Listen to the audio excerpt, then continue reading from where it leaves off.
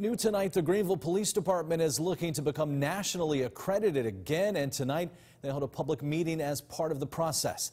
Now, on your sides, Aaron Dean joins us in the newsroom with how you can make sure your voice is heard. Aaron. Ken, this process happens every few years, and even though tonight's attendance was very low, they still held the meeting anyway. It's about accountability and transparency. Let them know uh, what we're doing well, what we're not doing well, how we can improve our organization.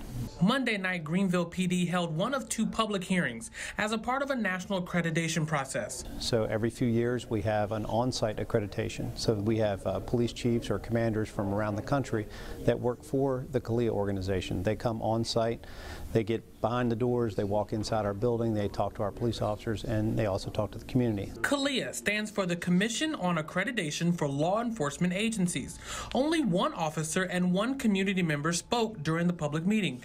Well, I think it's a great thing. Unfortunately, we didn't have too many people show up here this evening because um, if, you, if they do have concerns, they need to come forward, voice themselves, um, and particularly in this accreditation uh, process. The accreditation process isn't mandatory, but GPD prides itself on having the national accomplishment. The Greenville Police Department is one of the few in the country that meet national standards. They are graded on over 400 different things. There's only about 4% of the agencies across the United States that are accredited.